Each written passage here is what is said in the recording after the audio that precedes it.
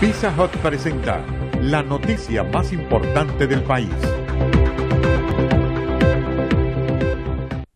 Para garantizar la transparencia del proceso en la elección del nuevo fiscal general y fiscal general adjunto, la Coordinadora Estudiantil Anticorrupción SEA se incorporó a la veeduría del transcurso del nombramiento.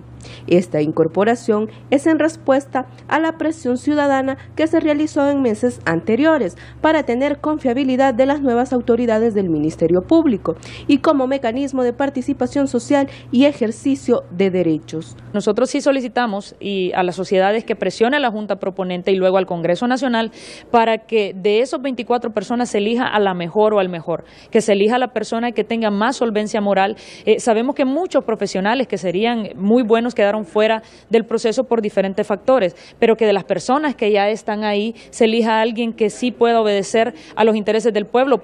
Investigar minuciosamente la hoja de vida de los 24 candidatos a fiscales, conociendo la evaluación integral que obtendrán, así como la nómina sea conocida por la población sobre los criterios y argumentos tomados en cuenta para designación de los cinco seleccionados. Exigimos que sea una persona correcta y le exigimos también a la Junta Proponente pues que realice su trabajo, que lo realice de la mejor manera y de una forma transparente. Será en septiembre próximo cuando se conozcan los nombres del nuevo fiscal general y fiscal general adjunto, teniendo la confiabilidad que su investidura no es gracias a tintes políticos que les favorecieron, sino por haber aprobado las pruebas que realizaron. Desde Tegucigalpa para Telenoticias, Josué Mejía en cámara informó Cindy Ordóñez.